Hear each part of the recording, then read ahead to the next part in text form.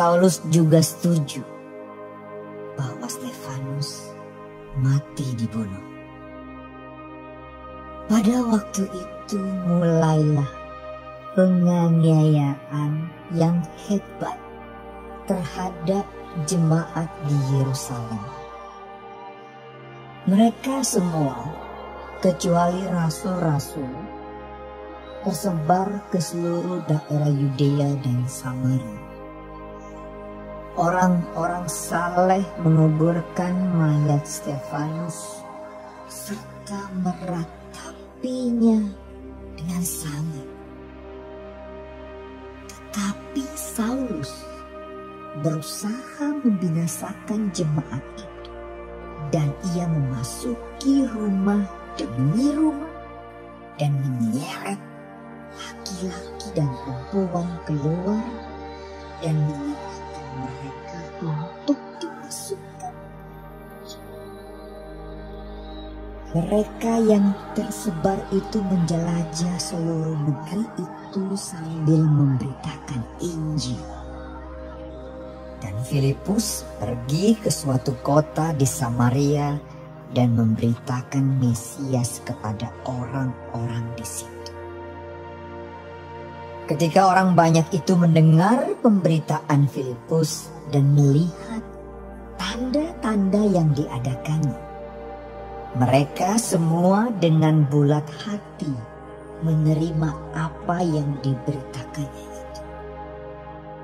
Sebab dari banyak orang yang kerasukan roh jahat, keluarlah roh-roh itu sambil berseru dengan suara keras banyak juga orang lumpuh dan orang timpang yang disembuhkan. Maka sangatlah besar sukacita dalam kota itu. Seorang yang bernama Simon telah sejak dahulu melakukan sihir di kota itu dan mentakjubkan rakyat Samaria serta berlaga seolah-olah ia seorang yang sangat penting. Semua orang, besar kecil, mengikuti dia dan berkata, Orang ini adalah kuasa Allah yang terkenal sebagai kuasa besar.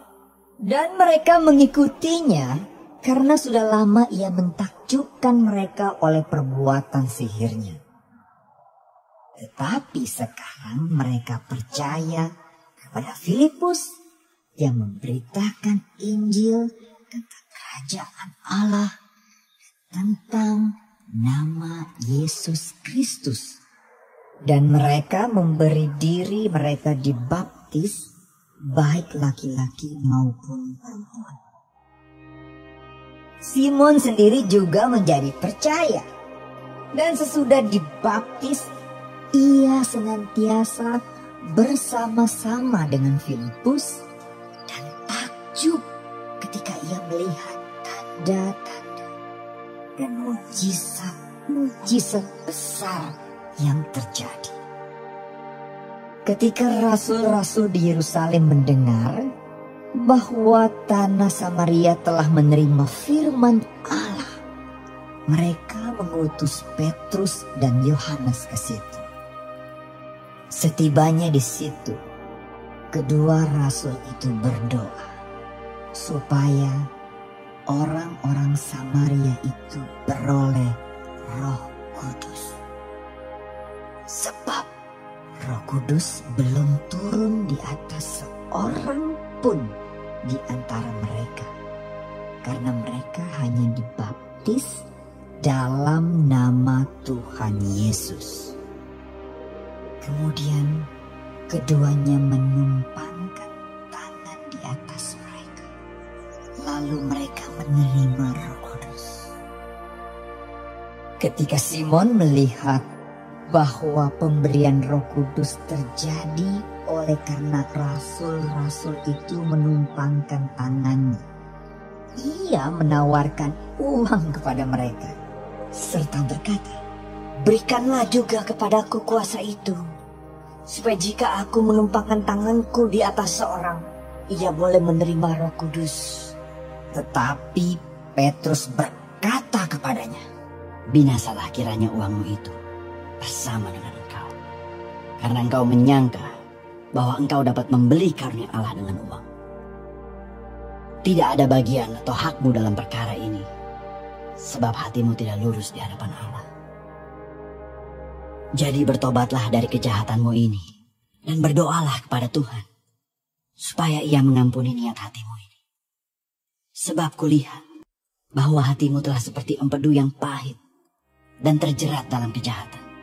Jawab Simon, hendaklah kamu berdoa untuk aku kepada Tuhan, supaya kepadaku jangan kiranya terjadi segala apa yang telah kamu katakan itu. Setelah keduanya bersaksi dan memberitakan firman Tuhan, kembalilah mereka ke Yerusalem dan dalam perjalanannya itu mereka memberitakan Injil dalam banyak kampung di Samaria. Kemudian berkatalah seorang malaikat Tuhan kepada Filipus. Katanya, Bangunlah dan berangkatlah ke sebelah selatan menurut jalan yang turun dari Yerusalem ke Gaza. Jalan itu jalan yang sunyi. Lalu berangkatlah Filipus.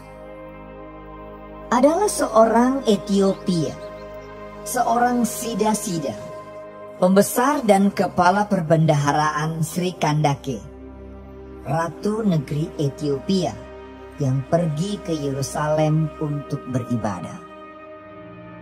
Sekarang orang itu sedang dalam perjalanan pulang dan duduk dalam keretanya sambil membaca kitab Nabi Yesaya.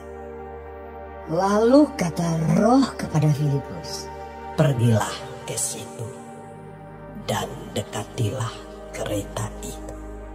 Filipus segera ke situ dan mendengar sida-sida itu sedang membaca kitab Nabi Yesaya.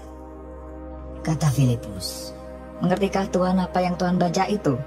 Jawabnya, Bagaimanakah aku dapat mengerti kalau tidak ada yang membimbing aku? Lalu ia meminta Filipus naik dan duduk di sampingnya. Nas yang dibacanya itu berbunyi seperti berikut. Seperti seekor domba, ia dibawa ke pembantaian. Dan seperti anak domba yang keluh di depan orang yang menggunting bulunya, demikianlah ia tidak membuka mulutnya. Dalam kehinaannya berlangsunglah hukumannya. Siapakah yang akan menceritakan asal-usulnya? Sebab nyawanya diambil dari bumi. Maka kata sida-sida itu kepada Filipus, Aku bertanya kepada tentang siapakah Nabi berkata demikian? Tentang dirinya sendiri atau tentang orang lain? Maka mulailah Filipus berbicara dan bertolak dari nas itu ia memberitakan Injil Yesus kepadanya. Mereka melanjutkan perjalanan mereka dan tiba di suatu tempat yang ada air. Lalu kata sida-sida itu, Lihat, di situ ada air. Apakah halangannya jika aku dibaptis? sahut Filipus. Jika Tuhan percaya dengan segenap hati, boleh. Jawabnya, Aku percaya bahwa Yesus Kristus adalah anak Allah. Lalu orang Ethiopia itu menyuruh menghentikan kereta itu. Dan keduanya turun ke dalam air, baik Filipus maupun sida-sida itu, dan Filipus membaptis dia. Dan setelah mereka keluar dari air, roh Tuhan tiba-tiba melarikan Filipus. Sida-sida itu tidak melihatnya lagi. Ia meneruskan perjalanannya dengan sukacita.